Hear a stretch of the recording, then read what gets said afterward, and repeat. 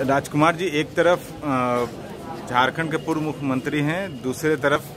अन्नपूर्णा जी हैं, जो कहीं ना कहीं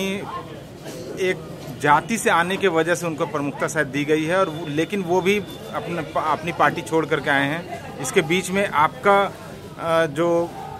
एक व्यक्तित्व है वो कैसे है वो उसे जरा से बताएँ। आप किस तरह से इन दोनों से लड़ाई लड़ाई तो जो आपने प्रश्न किए हैं कि अन्नपूर्णा देवी बाबूलाल जो पूर्व मुख्यमंत्री हैं जी।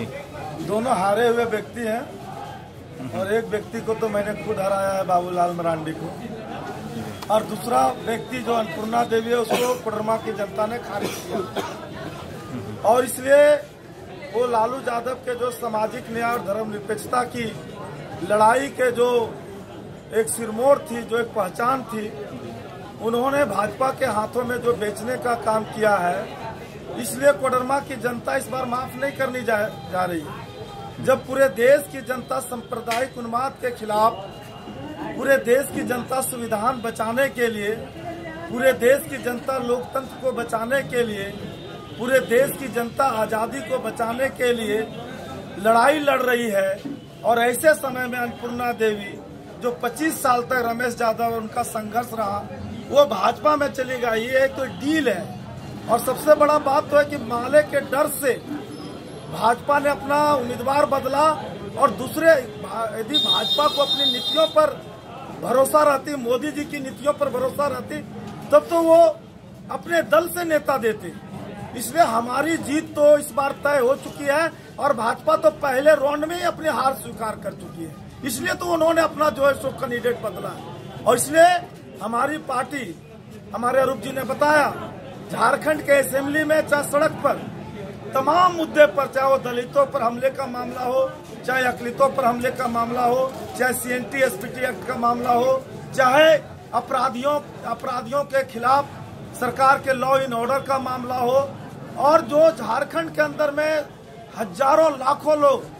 जो कहिए कि मानदेय पर काम करने वाला संविदा कर्मी है, उन सभी मुद्दों पर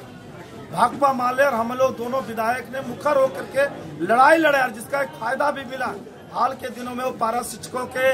चाहे वो आंदोलन का मामला हो, आंगनबाड़ी हो, सहिया हो रसोईया हो, जल सहिया हो रोज़गार सेवक हो,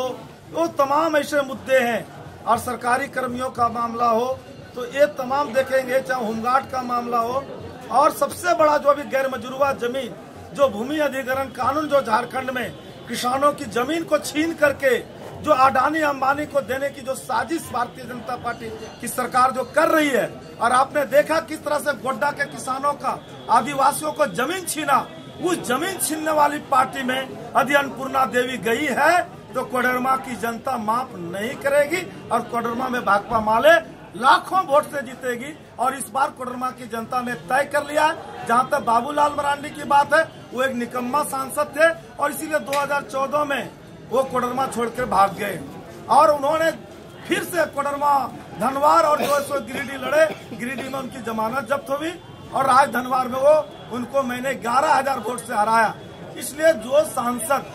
संसद नहीं जाते हैं, दस साल तक कोडरमा को पीछे धकेलने का काम किया है। इसलिए कोडरमा की जनता,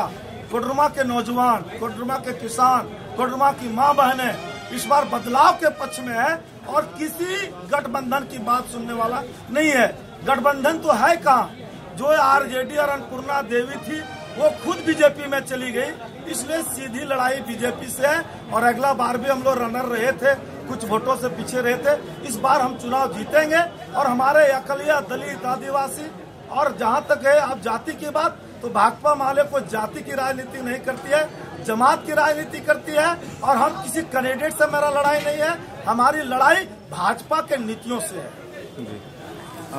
एक एक जरा सा और बता दें आपके और मुद्दे क्या होंगे